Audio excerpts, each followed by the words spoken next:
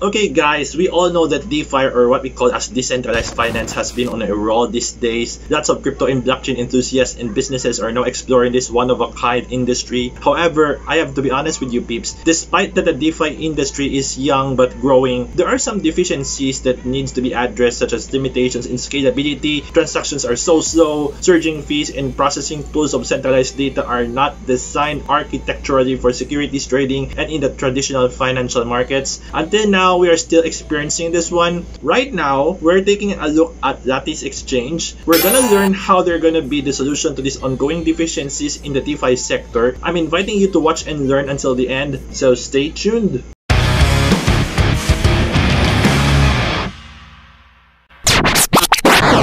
Be sure that you subscribe to my channel to get all of the information you need regarding cryptocurrencies, blockchain technology, and DeFi. Plus, you can follow my social media channels right here or in my video description. Anyways, let's hit it!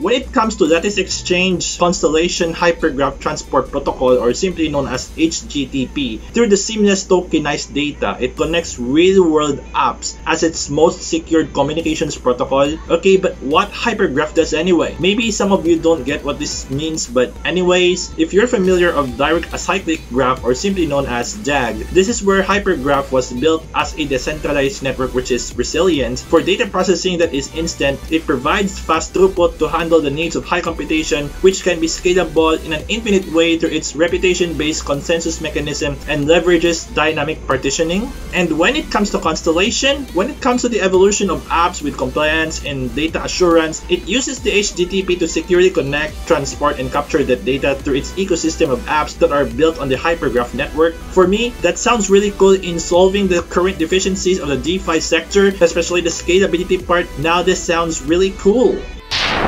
The features of Lattice Exchange are somewhat incredible for me, especially in solving the weaknesses of DeFi apps that are running today. You know why? It's because by using the state-of-the-art Constellation Hypergraph Transport Protocol, it simply brings institutional usability and great reliability in the decentralized finance ecosystem. I like the fact that the liquidity pool is flexible because lenders who are depositing some liquidity could earn transaction fees for that. Lattice Exchange also has a state-of-the-art liquidity pool-based automated market making system or what we call as AMM in short short. And they have this advanced platform where algorithms are matched with institutional grade order that are specific in assets. And finally, their lattice governance token or what we call the LTX. If you're gonna hold some LTX tokens when it comes to inflation or deflation scenario and transaction fees as economic parameters, you're given certain rights for that. These features alone somewhat intrigued me about their project and I'm very amazed of it.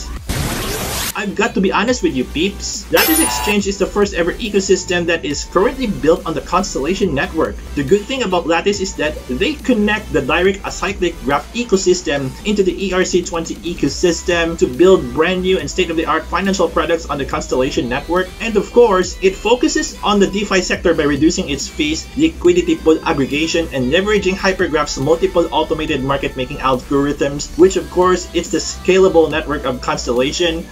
Alright, so now we've got to finally know about the real purpose of Lattice Exchange in the DeFi sector. I want to hear more about your reaction, thoughts, or opinions here in the comments section.